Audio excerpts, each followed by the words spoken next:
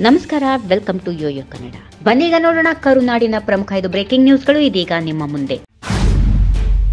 ಪಂಚಮಸಾಲಿ ಮೀಸಲಾತಿ ಹೋರಾಟದ ಮುಂಚೂಣಿ ನಾಯಕರನ್ನ ಷಡ್ಯಂತ್ರದ ಮೂಲಕ ರಾಜಕೀಯವಾಗಿ ಹತ್ತಿಕ್ಕುವ ಕೆಲಸ ನಡೆಯುತ್ತಿದೆ. ಬಿಜೆಪಿಯಲ್ಲಿ ಕುತಂತ್ರಿಗಳ ಮಾತು ಕೇಳಿ ಮಾಜಿ ಕೇಂದ್ರ ಸಚಿವ ಬಸನಗೌಡ ಪಾಟೀಲ್ ಯತ್ನಾಳ್ ಅವರನ್ನು ರಾಜಕೀಯವಾಗಿ ಹತ್ತಿಕ್ಕಲಾಗುತ್ತಿದೆ ಎಂದು ಪಂಚಮಸಾಲಿ ಪೀಠದ ಬಸವಜಯ ಮೃತ್ಯುಂಜಯ ಸ್ವಾಮೀಜಿ ಪರೋಕ್ಷವಾಗಿ ಮಾಜಿ ಸಿಎಂ ಯಡಿಯೂರಪ್ಪ ವಿರುದ್ಧ ಕಿಡಿಕಾರಿದರು.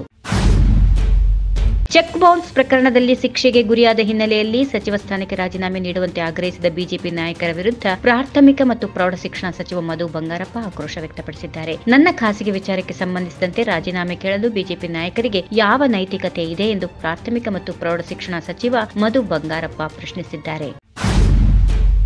ಆಪರೇಷನ್ ಕಮಲಕ್ಕೆ ಒಳಗಾಗುವವರು ನಮ್ಮಲ್ಲಿ ಯಾರೂ ಇಲ್ಲ. ಬಿಜೆಪಿ ಮತ್ತು ಜೆಡಿಎಸ್ನ ಹತ್ತು ಹದಿನೈದು ಶಾಸಕರು ಕಾಂಗ್ರೆಸ್ ಸೇರ್ಪಡೆಯಾಗಲು ಸಿದ್ಧರಿದ್ದಾರೆ ಎಂದು ಕೃಷಿ ಸಚಿವ ಚಲುವರಾಯಸ್ವಾಮಿ ತಿರುಗೇಟು ನೀಡಿದರು. ಅಸಮಾಧಾನಿತರು ಪಕ್ಷ ತ್ಯಜಿಸಬಾರದು ಎಂದು ಇವರು ಸರ್ಕಾರ ಪತನದ ಹೇಳಿಕೆ ನೀಡುತ್ತಿದ್ದಾರೆ. ನೂರ ಮೂವತ್ತು ಸ್ಥಾನ ಇರುವ ನಾವು ಕಿವಿಗೆ ಹೂವು ಮೂಡಿಸಿಕೊಂಡಿದ್ದೇವಾ? ರಾಜಕಾರಣದ ಪ್ರಜ್ಞೆ ಕಾಂಗ್ರೆಸ್ಸಿಗರಿಗೆ ಇಲ್ಲವಾ ಎಂದು ವಾಗ್ದಾಳಿ ನಡೆಸಿದರು.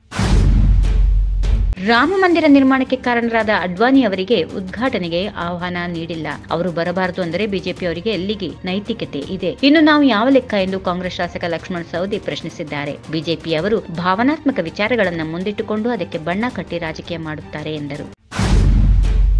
ರಾಮನ ಹೆಸರು ಇಟ್ಟುಕೊಂಡದ್ದಕ್ಕೆ ರಾಮನ ಗುಣ ಬಂದಿದೆ ಅಂತ ಭಾವಿಸೋಕೆ ಆಗುತ್ತಾ? ಸಿದ್ದರಾಮಯ್ಯ ಹೆಸರಲ್ಲಿ ರಾಮ ಇದೆ, ಆದ್ರೆ ಗುಣ ಇದೆಯಾ ಎಂದು ಮಾಜಿ ಸಚಿವ ಸಿಟಿ ರವಿ ವ್ಯಂಗ್ಯವಾಡಿದ್ದಾರೆ. ಅಯೋಧ್ಯೆಯಲ್ಲಿರುವುದು ಬಿಜೆಪಿಯ ರಾಮ. ಸಿದ್ದರಾಮಯ್ಯ ಹೆಸರಲ್ಲೇ ರಾಮ ಇದ್ದಾನೆ ಎಂಬ ಮಾಜಿ ಸಚಿವ ಎಚ್. ಆಂಜನೇಯ ಅವರ ಹೇಳಿಕೆಗೆ ಬಿಜೆಪಿ ಮಾಜಿ ಸಚಿವ ಸಿಟಿ ರವಿ ತಿರುಗೇಟು ನೀಡಿದ್ದಾರೆ. If you like this video ಬೇಗ ಲೈಕ್ ಮಾಡಿ ಕಾಮೆಂಟ್ ಮಾಡಿ ಶೇರ್ ಮಾಡಿ ಹಾಗೂ ಯೋಯೋ ಟಿವಿ ಕನ್ನಡವನ್ನು ಸಬ್ಸ್ಕ್ರೈಬ್ ಮಾಡಿ.